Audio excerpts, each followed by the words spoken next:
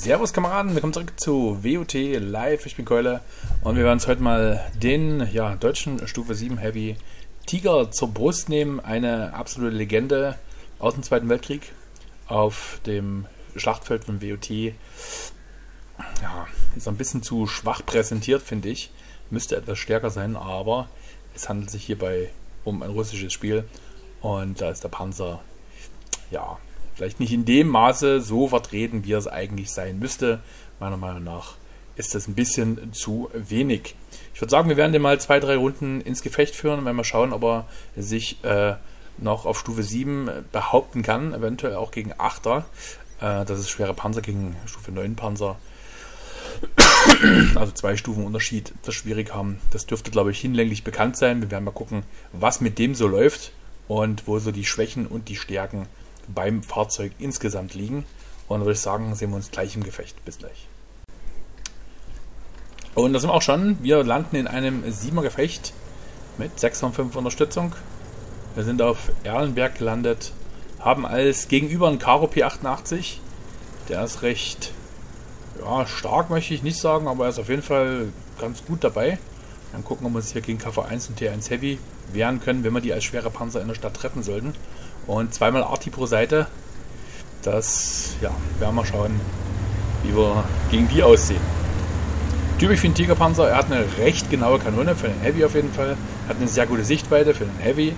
Hat eine, ja, recht vernünftige DPM, dürfte so bei 2620, glaube ich, liegen, wie ich den aktuell ausgerüstet habe. Und er hat, äh, ja, die typische 8.8er oben drauf mit 203 mm Durchschlag auf Standardmunition. Auf Premium glaube ich 237, wenn mich nicht alles täuscht. 237 zu 203, jawohl, genau.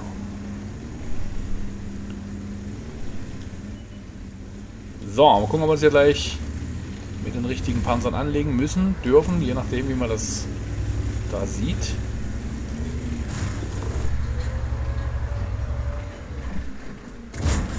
Geben wir immer zumindest einen kritischen Treffer mit.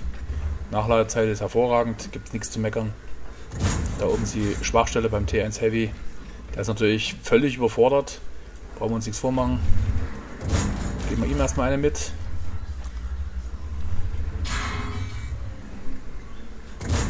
Da nochmal eine drauf. Zumindest einen kritischen Treffer haben wir gelandet.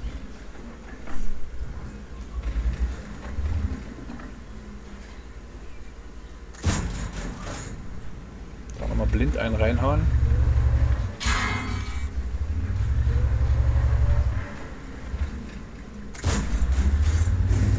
Da fahren wir nicht nochmal raus.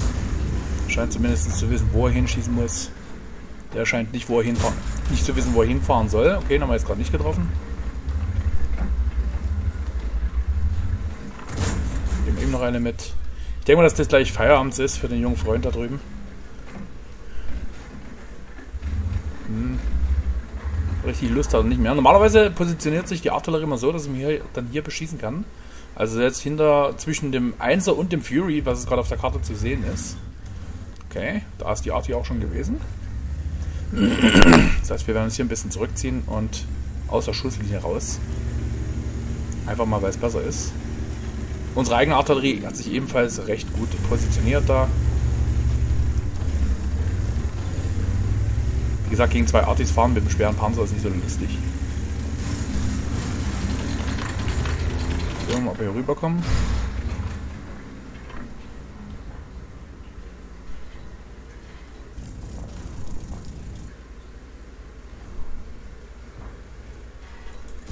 Jawohl, das war der Killshot. Kommen wir hier wieder raus? Kommen wir nicht. Wir werden wahrscheinlich gleich von hinten zerlegt, wenn wir hier nicht aufpassen. Deswegen fahren wir hier direkt nach vorn. Und gucken mal, ob wir gegen den Cargo was machen können.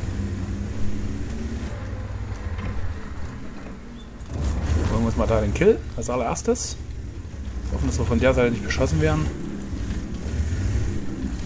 Karo ist draußen. Also Karo ist zu sehen, sagen wir es mal so.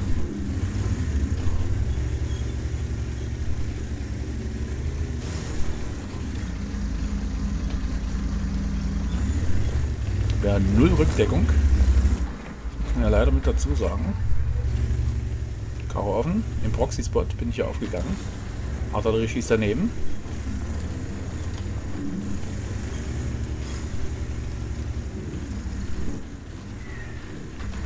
Hm. Zwei recht gute Treffer, würde ich sagen. Gucken wir nochmal, ob wir hier einen Boxenspot den aufmachen können. Sieht nicht so aus.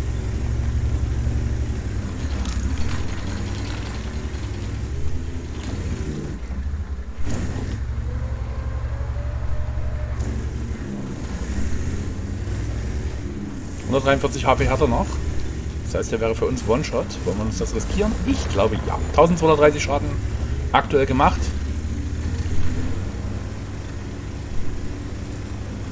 Auf 80 HP ist er runtergeschossen. Ich denke mal, dass die Artillerie gleich den Rest erledigen wird. Und wir da keinen richtigen guten, zumindest keinen richtig guten Schuss mehr drauf kriegen.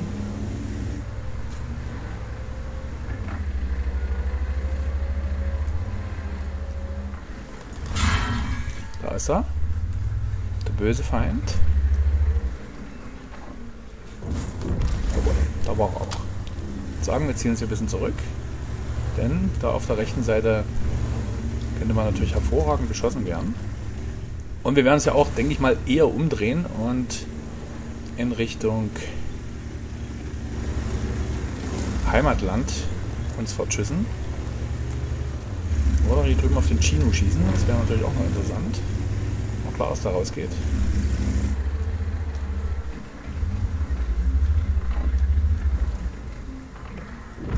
Habt ihr was für dich? Treffer zum Beispiel.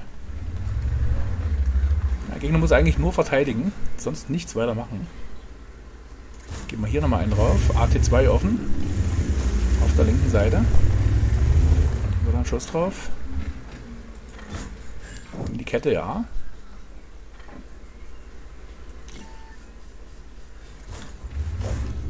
Ah, zu lang gewartet. Ich mal lieber gelassen. Da nochmal einen drauf.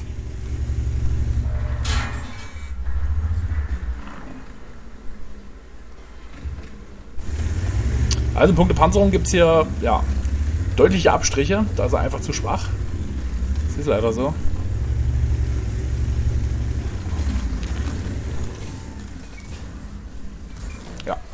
Können wir nicht besonders viel machen.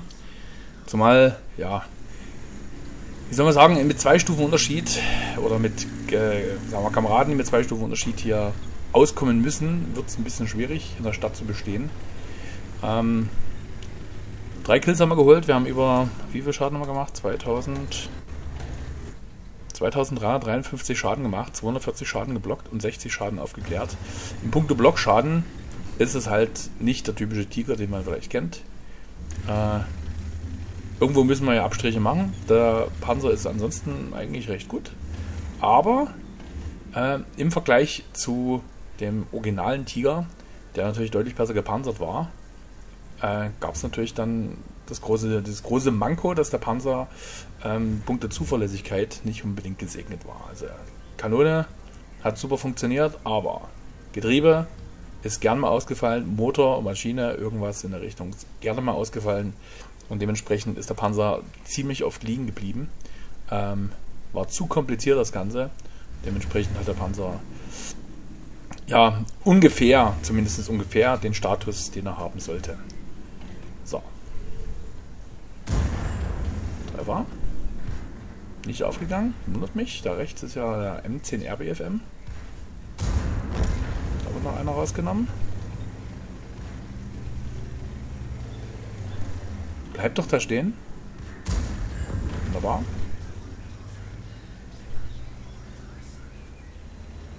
Beide Artis raus. Ich würde sagen, dann werden wir recht schnell abgeben, das Gefecht. Da schießt nochmal ein Arti Geschütz aus dem Gegnerteam.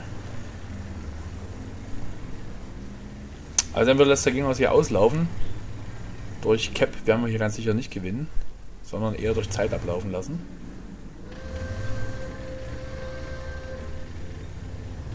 Oder wir verlieren doch. Durch Panzerverlust, natürlich auch. Also auf jeden Fall ging das Nashorn ein bisschen zu lange gewartet draußen. Hatte die gute Nachleitzeit vom Nashorn nicht auf dem Schirm, deswegen habe ich mich da ein bisschen schlecht angestellt. Der Panther M10. Schießt auch super rein. Hat eine sehr gute DPM, sieht man gerade eben wieder. Ich hätte jetzt eigentlich genug Geld, um den mir direkt zu holen, aber äh, ich warte lieber noch ein bisschen. Also, drei Kills haben wir geholt. 2353 Schaden, 240 Schaden nur geblockt, das ist nicht viel. Und 60 Schaden haben wir aufgeklärt. Natürlich eine Niederlage. Ähm, war nicht anders zu erwarten. Gucken wir, was es dafür gibt.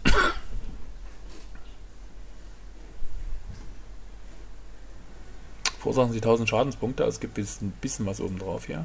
Das Ganze sind zwei Jahre, 644 Basis-XP. 31.000 Mama Plus. Natürlich gibt es dieses extra Gold, was ich mir da geangelt habe.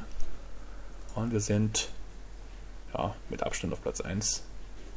Brauchen wir nicht drüber reden. Natürlich äh, habe ich da, hätte ich da mehr machen können, aber im Großen und Ganzen denke ich mal, dürfte klar sein, dass wenn der nächste mit 363 äh, Basis-XP daherkommt, dass es wirklich nicht nur an mir gelegen ist. Ich würde sagen, wir fahren noch eine zweite Runde mit dem Tiger und gucken mal, ob er sich vielleicht, vielleicht nur gegen 7 oder vielleicht gegen 8 behaupten kann.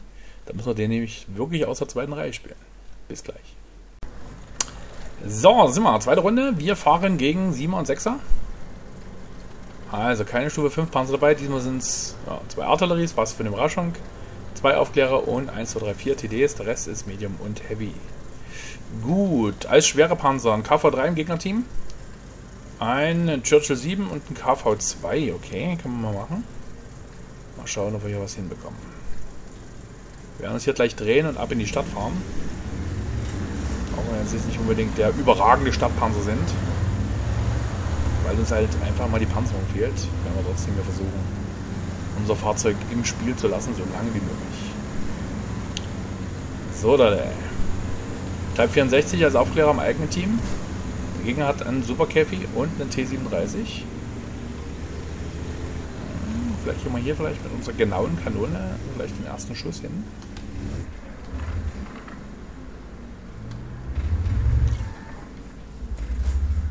Oh, oh.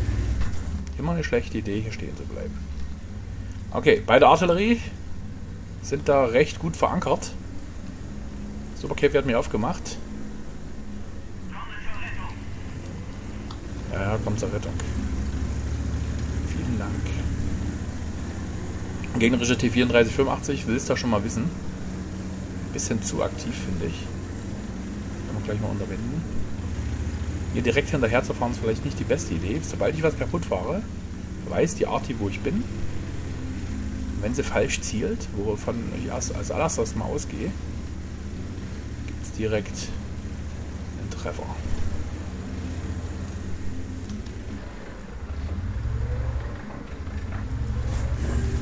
Zumindest mal einen kritischen Treffer ab.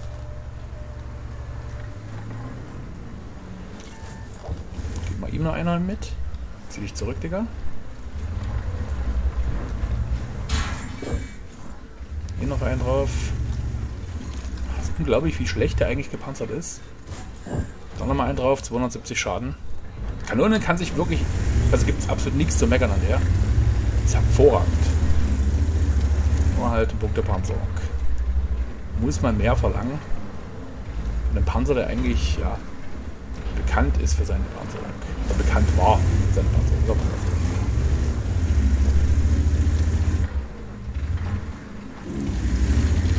Okay, wir werden hier mal drum rumfahren. Einfach mal Spaß macht. Uh, 185. Das hat wehgetan. Da ist die Arti. Ist natürlich sofort dabei. Wo sonst?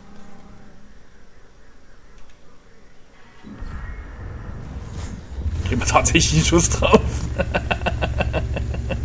also ist das denn für ein Unsinn? Da war nix. Ich muss mich ein bisschen zurückziehen, Leute.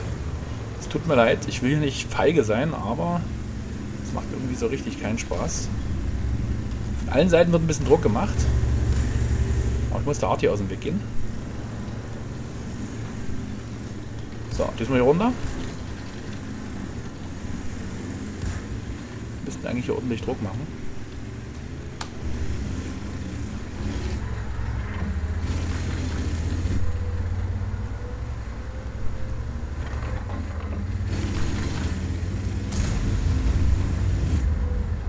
Nochmal ab in die Artillerie.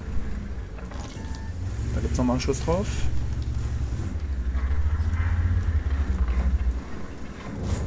Nochmal einen drauf. Und wir ziehen uns zurück, bevor die Arte hier nochmal schießen kann. Ist mir sonst zu gefährlich. Wieso kommt ihr eigentlich auf meine, auf meine Richtung hier? Das finde ich schon ein bisschen extrem mutig. Also 5 zu 1 sieht gar nicht so schlecht aus, finde ich. Drum rumfahren wäre auf jeden Fall eine Option, jetzt würde ich sagen.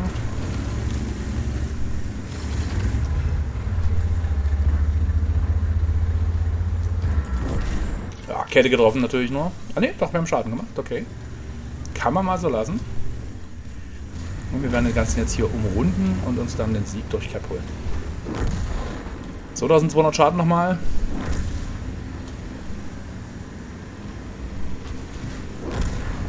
Wie heißt es so schön? Der Sieg liebt die Vielfalt. Ne, die Sorgfalt. So. Wenn ihr euch nicht traut, dann fahrt weg.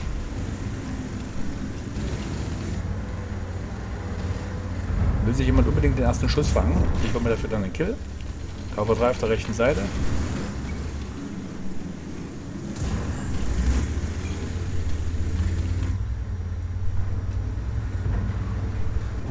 Und ich hole mir den nächsten Kill. Okay, zwei Artis sind noch am Leben. Da muss ich echt aufpassen, dass ich hier nicht gleich wieder beschossen werde. Irgendwo ist noch ein dicker Max. Arti schießt daneben. Ich glaube die... Ne, weiß ich nicht, wer das war. Keine Ahnung, wer das war. Super Hellcat da drüben. Über 3000 Schaden gemacht. Bis dahin.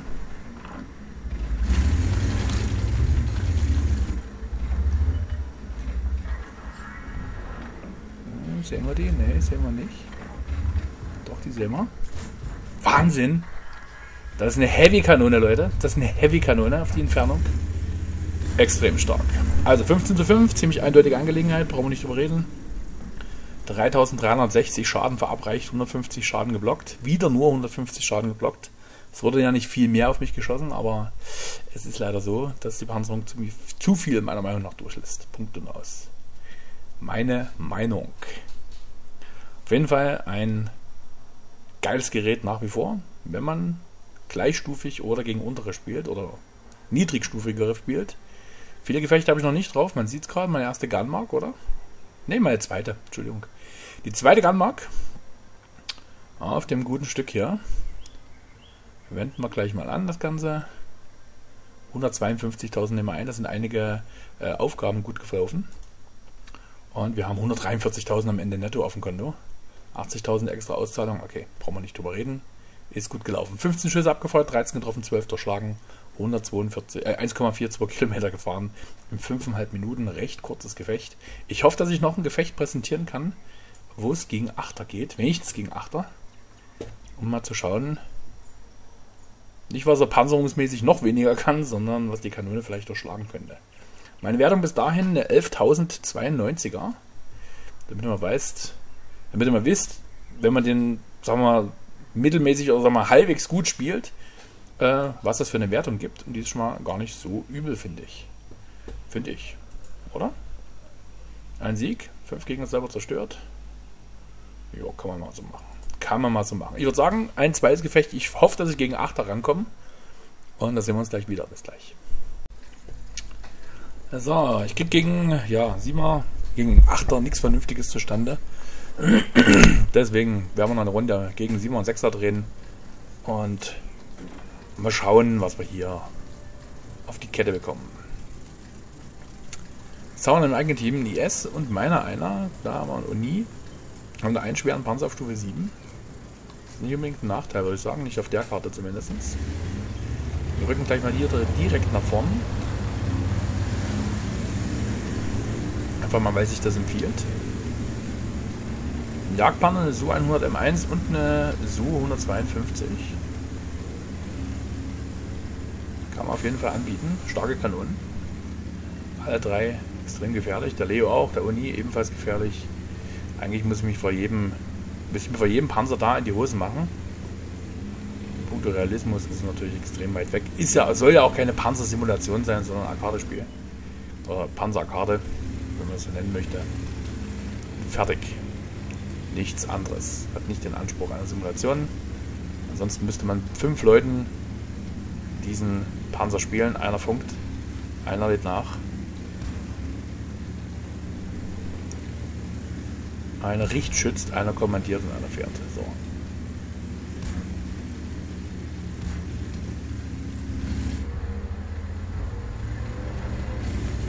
Tatsächlich übergesetzt, der junge Freund hier. Schießt daneben. Artillerie trifft einmal oben drauf. Will mir ja auch der Artillerie ein bisschen aus dem Weg gehen wollen. Kriege ich da von rechts gleich Beschuss, wenn ich nicht aufpasse? Was sagt man den Jagdpanther, würde ich sagen?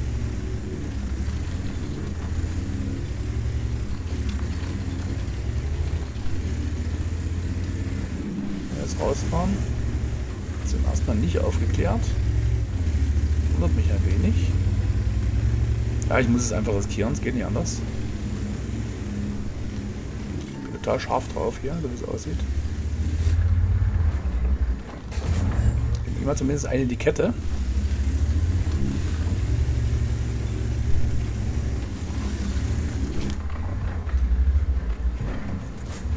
Abgeprallt. T34. Noch ein? Ja, noch ein überlebt er nicht. Der war auch ein bisschen zentraler gesetzt, also am Turm kann man schon mal abprallen. Mit dem jungen Freund. Vielleicht könnte er mich vorlassen oder so. Ich habe jetzt irgendwie so einen der stärksten, stärksten Kanonen. Fehlt allerdings die Gun Depression.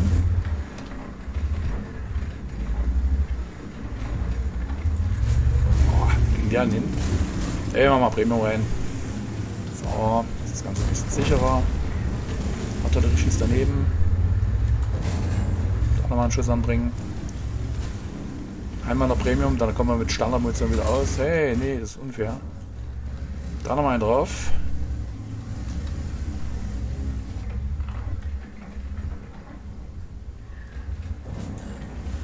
Da nochmal einen. Denk mal, wieder die Kette getroffen. Ne, habe ich nicht. Ansonsten hätte ich ja nochmal einen Unterstützungsschaden bekommen. Theoretisch müssten wir uns jetzt hier so nah wie möglich an den Gleisen orientieren, um nach vorn zu rücken.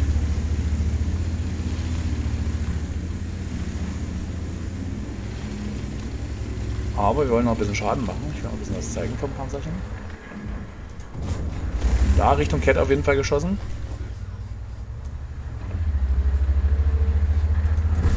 Wäre sonst mein Treffer gewesen. Den hätte ich hundertprozentig erwischt. Also 1865 Schaden. Wir werden drüber fahren, oder? Ich bin mir gar nicht sicher. Fahren wir da hinten runter und krallen uns die Arti. M12 ist nicht besonders schnell, M44 auch nicht. Ja, müsste eigentlich gehen. Fahren wir mal in Richtung Kirchkern Spucker da aus der zweiten Reihe. Dürften gleich holen werden und Cromwell. Mhm. Kriegen wir nichts ab von der. Da sind andere schneller. Unter anderem die Arti ist da schneller. Kommt aber hier dem Setter nicht aus dem Weg und ich denke auch dem Cromwell nicht aus dem Weg.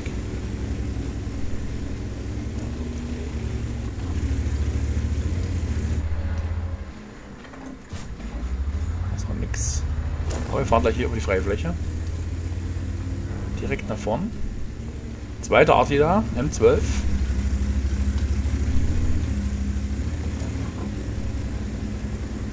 Kein langes Leben mehr.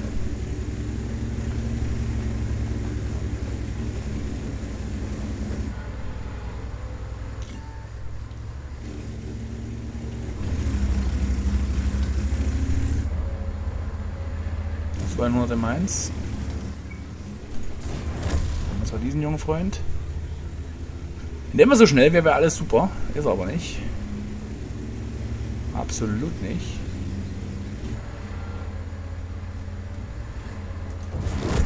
Was ist den noch? Drückt schön nach vorn. So, alles reparieren, alles hübsch machen. Wieder so ein typisches äh, 15 zu 3, 15 zu 4 Gefecht. Bitte stell dich nicht mir vor die Nase, Digga. Ich kann hier nicht bremsen, tut mir leid. Ich kann nicht und ich will nicht. so, wo ist denn der Leo? Noch rechts irgendwo? Ich glaube nicht. So, Genauigkeit, gucken wir mal. Braucht halt ein bisschen Zeit zum Einzählen. Wäre auch drüber gegangen, schade. Und der Leo hat sich hier wahrscheinlich ein bisschen zurückgezogen. Ne, ist da links. Also, keine Chance für mich hier noch an ein paar HP zu kommen. 2000 sind es insgesamt genau geworden. Ähm, gegen Achter habe ich heute extrem schlecht ausgesehen, deswegen gibt es da von mir nichts präsentiert. Das muss halt ohne funktionieren. Komm unten raus, komm.